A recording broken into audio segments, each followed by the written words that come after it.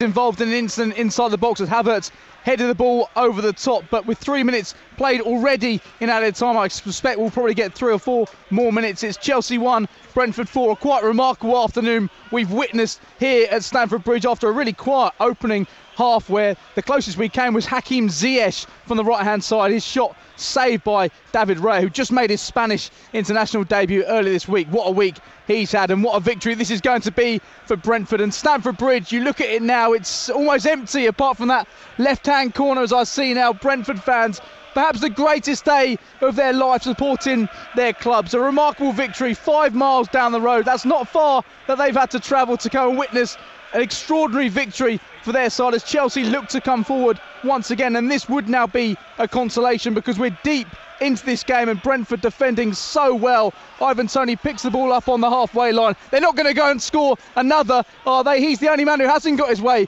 on the score sheet today. Toney whips the ball from the right into Roerslev on the right hand side, who's trying to find an opening here. It nearly falls to Sergi Canos, who's very frustrated that he didn't get on the score sheet. But Brentford do in fact look like they're going to have a corner here and Edouard Mendy throws away the ball in disgust because he knows his side are going to leave here with absolutely nothing. And this is not a result we could have predicted. When you consider all the uncertainty going on around Chelsea at the moment around the ownership they still continue to win. They won every single match in March. Six wins in a row. They've won five in all in the Premier League. But this is going to go down as a heavy loss against their West London rivals. Eriksen who whips the ball in from the right hand side. It's Jansson who tries to flick something there, but the ball goes out for a goal kick, and Mendy will try and set up a move quite quickly here, but he's not going to have enough time to, to force anything of note. The referee, Andy Madley, has a look at his watch to see how long is left to play, and he blows his whistle, and we have witnessed something momentous here at Stamford Bridge today. It's finished. Chelsea 1, Brentford 4. Brentford win this West London derby for the first time in more than 80 years. The Bees are buzzing their way to securing their top flight status. Thomas Frank said pre match it would be the result of the season for Brentford if they won. It could be the biggest win in their history as they thrashed their West London rivals. It was Antonio Rudiger who put the Blues in front early in the second half, a screamer from distance. But minutes later, the Bees levelled through Vitali Janelt. He found the top left-hand corner from the edge of the box. And the Brentford fans in that left-hand corner, they were in heaven minutes later when Mbeumo found Eriksen in the box and he dinked the ball over Mendy to bag his first club goal since his return to football. The Bees were in dreamland shortly after. Janelt with a second from a tight angle on the left after a perler of a pass from Toney. Three goals in 10 second half minutes. It's a rare Premier League defeat for Thomas Tuchel's side, and matters were made even worse towards the end. Yoane Wissa notching up Brentford's fourth. It's Chelsea's first loss since the club was put up for sale, and a first defeat here at Stamford Bridge since September. A famous win for the Bees. It finished here at Stamford Bridge. Chelsea 1, Brentford 4. James Savundra, thank you for your wonderful work. Chelsea's winning run comes to a shuddering halt. A staggering win for Brentford, Thomas Frank's side. Let's get to Molineux for the closing stages of that West Midlands derby with Nigel Pearson. Wolves 2, Villa 1 is the scoreline here, and we're in the last minute of four added on at the end of this game. I suspect there'll be more than that, though, because there's been controversy, there's been players uh, squaring up to each other, some ill feeling creeping into this match.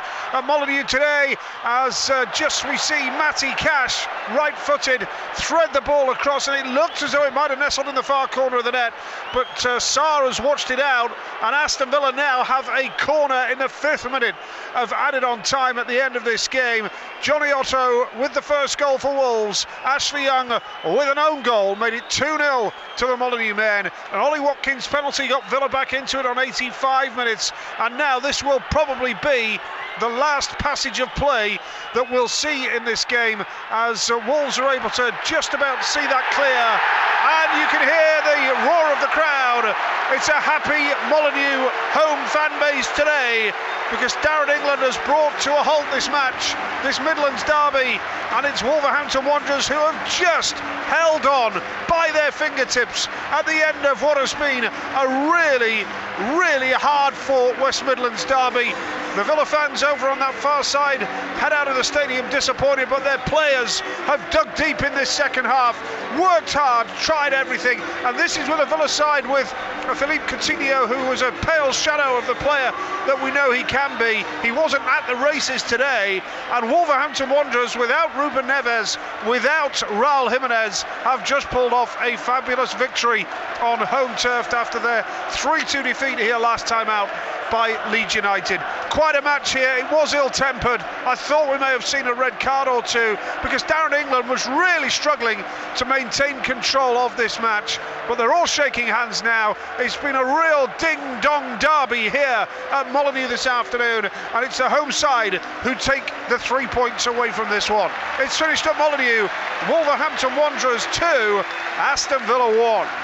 Nigel, thank you. Let's bring you the full time report here at Turf Moor. Top value company alongside me all afternoon, Mickey Gray. Where it has finished Burnley nil, Manchester City 2. Deadlock broken on four minutes. Great play from Rodri out to Raheem Sterling, who just played a lovely ball into the path of Kevin De Bruyne just to volley it into the back of the net. Then it was all Manchester City and they got their second goal. A lovely give and go with De Bruyne and Raheem Sterling down the right hand side. A pull back to the penalty area and Ilkay Gundogan just slotted the ball into the back of the net. Burnley have got to show more in the final 10 games of the season or they are looking down at the Championship next season. It's back to the top of the table for Manchester City, flying high after that big performance from Liverpool earlier on in the day. But Pep Guardiola, the perfect remedy for that big game they've got coming up on Tuesday night against Atletico Madrid in the Champions League. But it was an easy day at the afternoon for his side today. He'll be thrilled to pieces, picking up all three points, back to the top of the table. Job done. Burnley nil, Manchester City two.